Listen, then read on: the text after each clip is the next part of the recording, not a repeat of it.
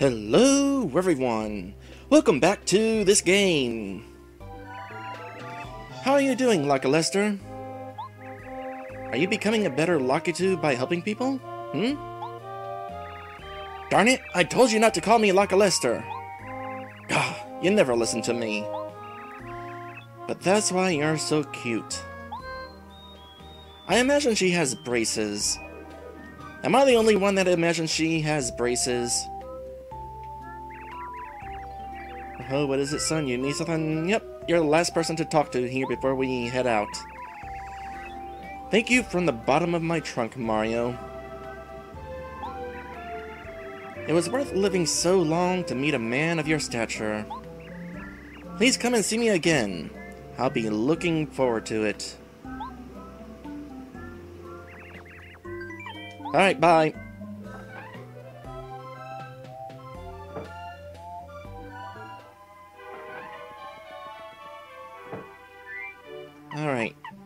Time to do the things we always do in between chapters, starting with talking to everybody. But, but first, Parakarry wants to say something. Uh, Minty, deliver letters, hang on a moment. Another letter delivered. To me? Who's it from? The Wise Wisterwood? Who's Wise Wisterwood? Thank you for making the flowers bloom so beautifully? Oh, it's a thank you note. It says, please drop by Flower Fields sometime. Wow, how delightful. But how does Wise Wisterwood know about me? Oh, excuse me, I'm rambling. This is a small gift to say thank you for delivering the letter. Please take it. Alright, got another star piece. Let's talk to you for real. I can imagine all those flowers, so colorful and happy, turning their faces to the sun. Mario, you saved them. Flower power. You're a true hero.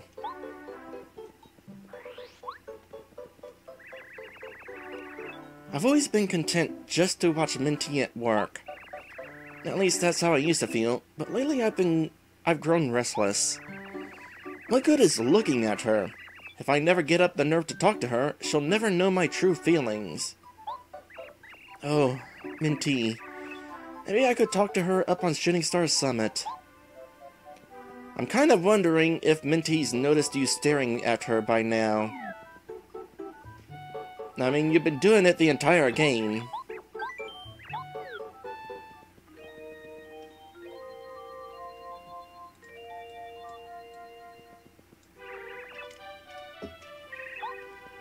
While I'm thinking about it, is Chuck Quizmo here yet? Nope. Well, in that case, um, let's check the news. Mysterious Events File. Reports from the bizarre interdimensional door. Another world, same story. A world populated by flowers lies on the other side of the mysterious door in Minty's flower garden. It should come as no surprise to learn that Bowser's goons were causing trouble there. Does anybody ever say goons anymore? But guess what? Our own Mario did a little extermination of the pests in the garden. By kicking Bowser's underlings out of the world, he also saved another Star Spirit. Now that's flower power. I wonder if Minty wrote that. Twitter Underground News.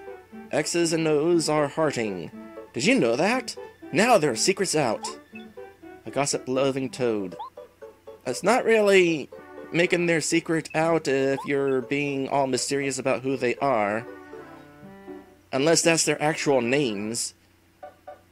What kind of parent would name their kid XXX? Never mind, ooh.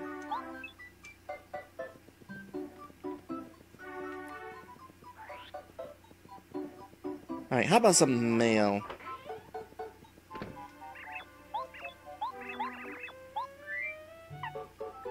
Got a few letters here. Let's start with Kooper. Kooper's fan. Dear Mr. Kooper, I must apologize for sending a letter out of the blue. But I had to! I saw you walking in Toad Town with Mario. You seemed so strong and brave. So dashing. If it's okay, I'd really love to have a talk with you. Oh, how embarrassing. I'll write to you again soon. Good luck, Brave Koopa. Your fan. I would hate to break it to you, Kooper's fan, but Kooper doesn't talk much.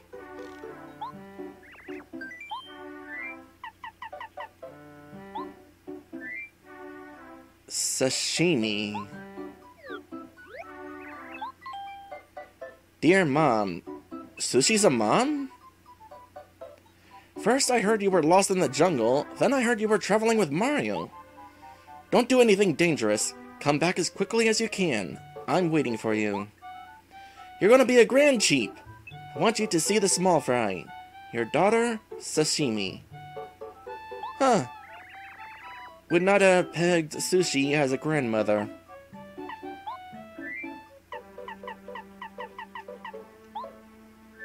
Huh, Lakilester's got one already from Lakilulu. We just talked to you. Here you go. Dear Lakilester, where are you? You'd better be a good Lakitu and return soon. I'll be faithfully waiting for you near the wise Wisterwood. If you don't come back, I'll search for you till the end of time. I'll give you such a spiny storm you'll... I'm sorry, Lo. I get mad when I worry. You're lucky, Lulu. Someone is clingy. In fact, we've met a few clingy, clingy characters in this game, it seems like. Okay, before I talk to anybody else, I want to make a quick trip over to Shooting Star Summit. There's not any badges I want, or at least not any badges I can get right now. But I really want to get that shooting star from the treasure chest if I can hold it. I can't hold it. Never mind then. I'll keep it in mind for later. What else do I want to do? Well, I suppose we could head to the dojo. Now that we have all of my party members, I can finally do that thing I wanted to do. So let me go ahead and say before I do any of that. Actually, let me do some badgery arrangement just in case. Do something to kind of help me out here. I start by taking off Quick Change.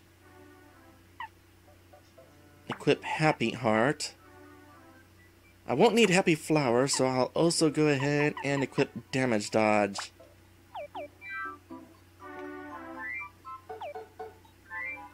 And we'll get out Goombario.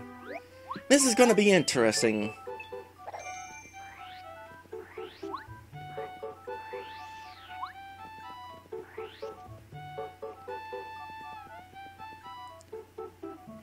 Let's see here.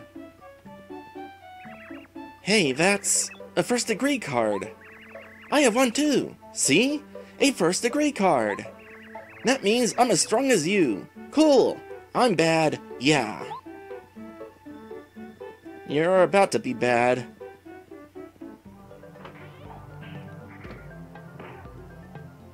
Been a while since we've been here, hasn't it? Let's talk to these guys again. Been a while, so I forgot what to say. When fighting, you must try many tactics. A good fighter does not use the same simple attack each time. Each enemy has its own character and weak points. Sometimes you use your body, sometimes you use your items, but always, always, you must use your mind. Sometimes you will be surprised by what's effective. Indeed, like status effects. It is amazing when status effects come into play. A wise fighter knows that sometimes the best tactic is not to fight at all. There's no cowardice in choosing to run away from a superior foe. Of course, you will find some enemies that are impossible to escape once in battle. Face them with bravery. Cough hack! Ah, Mario. Welcome to our dojo. For what purpose did you come here today? Try. Very well. This time, Lee will fight you. Now, Lee, let me see how you handle Mario. Certainly, sir. I will defeat him, Master. I already took care of the first opponent. I was very dishonorable. I bet you've never seen a move like this before.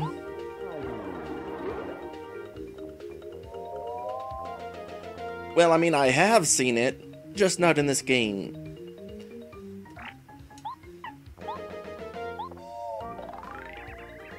Lee disguised as me. His max HP is 20. Do I really look like that? No way. He'll use Head Bonk and Tattle. He has the same skills as me. Of course, I'm much better looking and more debonair, and I hope that I'm stronger. That's a good question. What sort of abilities would you possibly have? Uh, I should have used strength, uh, uh equipped strength. There. I should have equipped Shrink Stomp while I was at it. No, well, we can use Chill Out. I don't want to defeat him quite yet.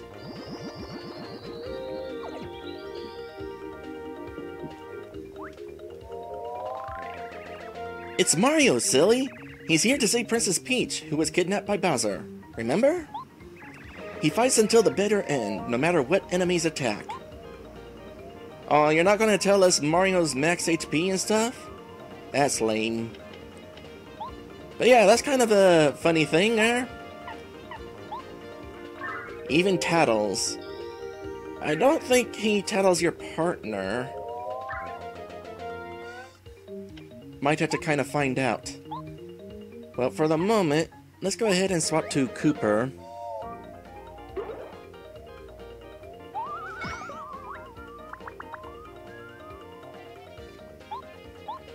And just gonna keep using this so that we can continuously lower Lee's strength. Kinda think of it, this will be handy for the next fight as well.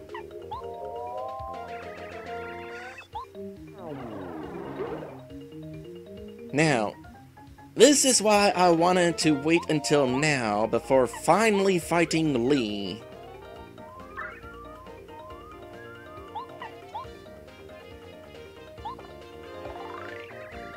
This is Lee disguised as Kooper. max HP is 20, Lee has disguised himself as Kooper perfectly, so his attack power is the same as Kooper's usual power. Just like Kooper, he attacks with his shell. If you flip him over, you'll beat him with ease. Incidentally, Lee's red scarf and wristband look cooler than Kooper's.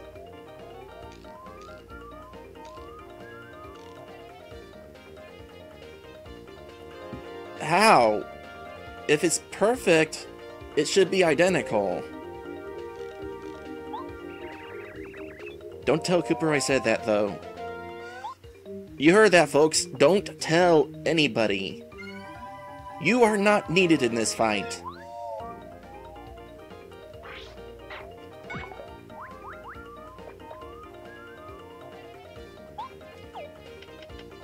Uh, best to lower strength some more. Since that worn out. It's kind of fun tattling things in this game, gotta say. I'm sure you've paid attention to how much I tattle things and characters and places throughout the game. Of course, tattling is the ultimate reason why I do practice runs, so that I know pretty much what would be most interesting to tattle. Because tattling every place it would get boring. A lot of maps don't really have that interesting tattles. Same with most characters. You know, I haven't tattled Lee in his normal form yet. This is Lee of the dojo. He's training under the master and is happy to fight us. Indeed, look at that smile. 20 HP, 5 attack. Definitely a good thing I've lowered his attack then. He has mastered the art of disguise, so don't let it phase you when he suddenly mirrors us. Remember, he can't stay disguised forever. Don't let his strange tactics throw you off guard, no matter how many times he transforms.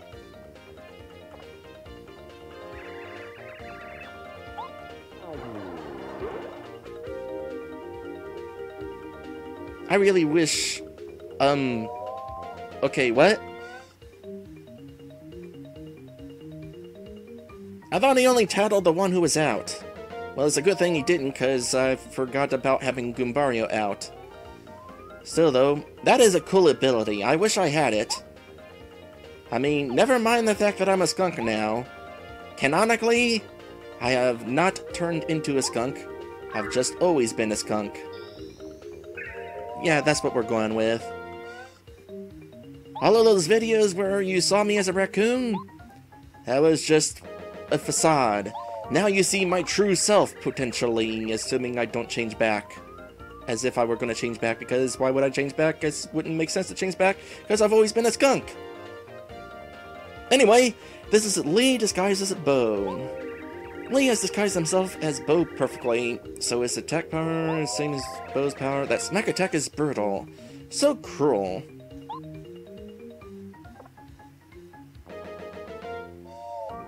Oh.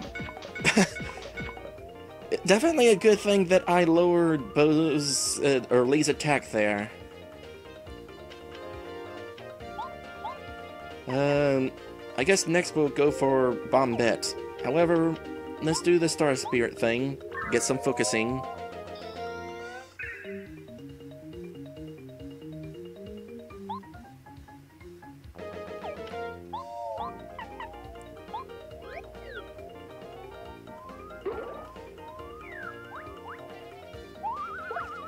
Oh right, got a block.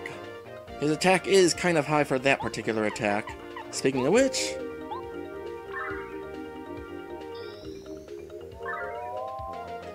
By the way, the reflections are a nice touch. On the floor there. It's pretty obvious how the reflections are done. It basically just takes the characters and adds a copy of them under the floor. Probably adding some transparency somewhere.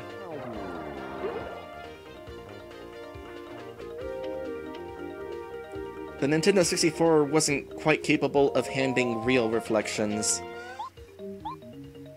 Genku could do it though. Not very well, reflections were kind of fuzzy, but it could.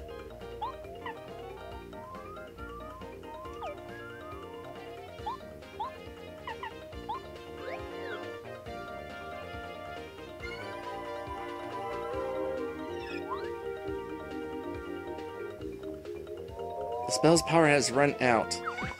That's the first time I've actually seen it tell me that. Well, now I know that I definitely need to do some recharging.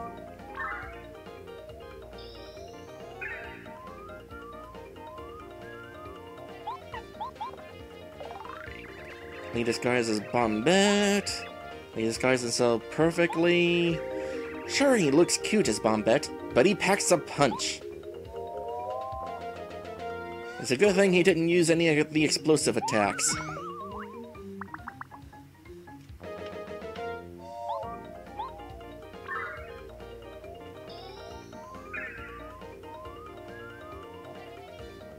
Alright, who else do we want? How about Parakarry?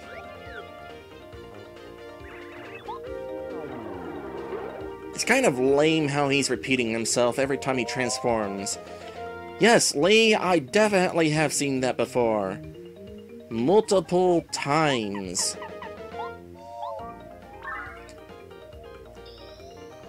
He's like one of those bosses in Sonic the Hedgehog. Now dodge this! Now dodge this! Now dodge this!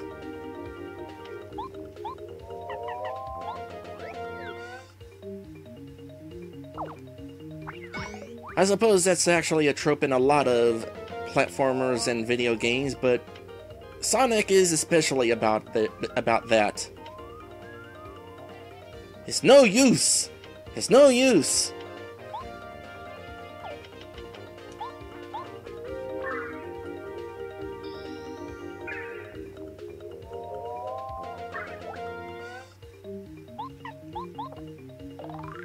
I suppose I didn't necessarily need the boost in, or the, the HP regen, but every little bit helps. Anyway, blah blah blah, he's usually slow, but once he's in battle, he's a whirlwind of feet and feathers. He's a sight to behold in the heat of battle. To tell the truth, I think he's the most intimidating one on our team. Really? Yeah, I suppose I could see that. His ultimate attack is pretty dangerous.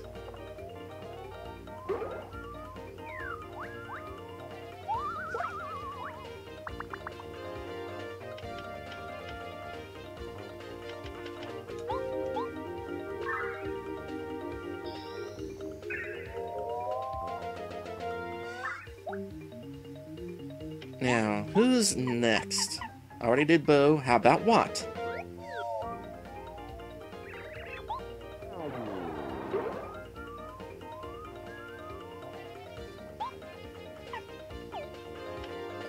See here.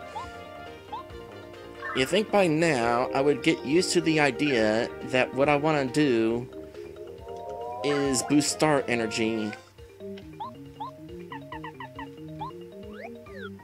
Or possibly swap.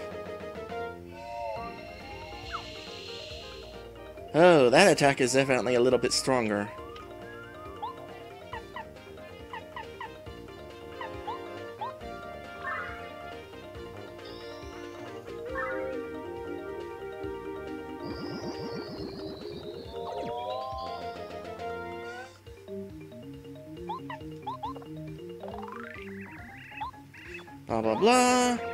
Remember, don't stomp on him. Her, except Lee's normally male, but right now he's a she.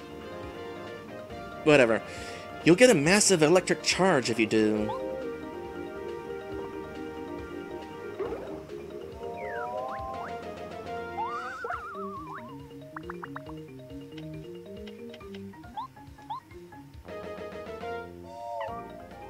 Only a couple more to go.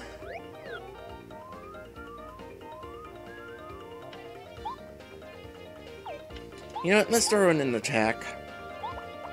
We're going to have to actually defeat him at some point.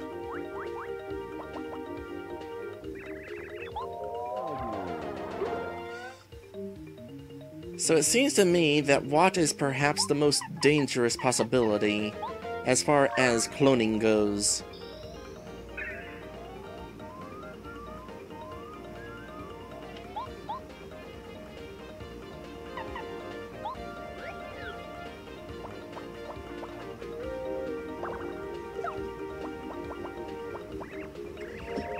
Mario, now I will finish you.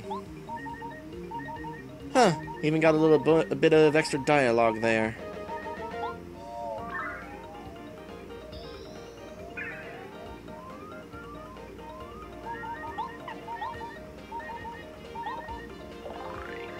Lee disguised as Sushie.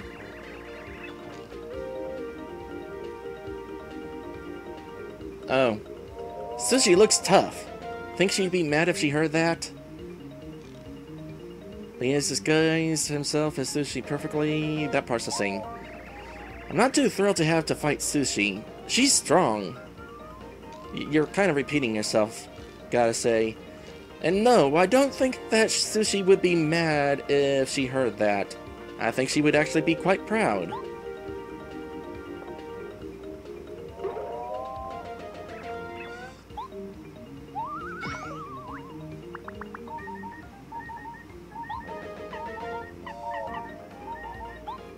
Okay, you definitely need to chill out now.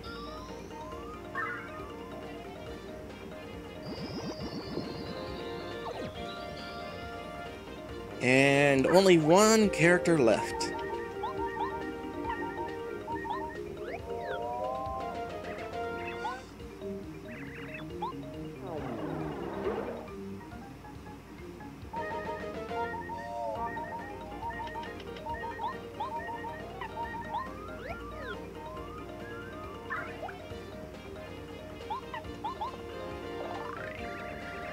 This is Lee disguised as Lakilester. Max HP is 20. It's kind of weird how Sushie seems like the only character where there was actually extra dialogue after that information. And this part's different too. If I remember our battle with the real Lakilester correctly, this one seems to be weaker. Lee has disguised himself, Lakilester perfectly. Yeah, that's confusing. What consistency? Dodging that spiny flip is tough, so pay attention. Also, I like how you call Lakilester weak. He is indeed a weak character. Maybe not physically.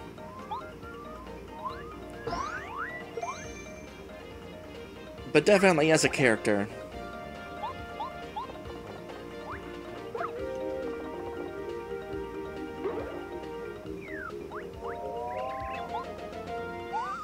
Time to finish this.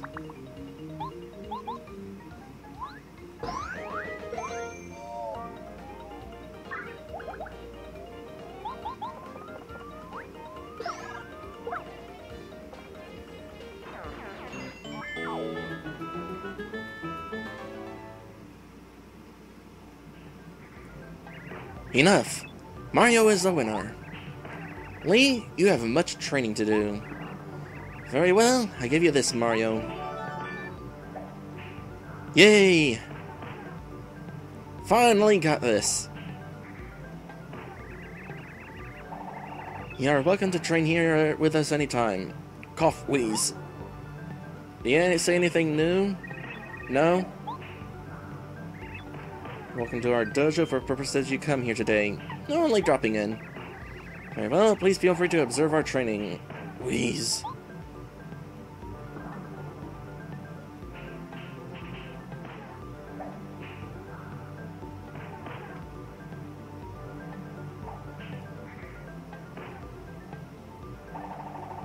Your training is boring.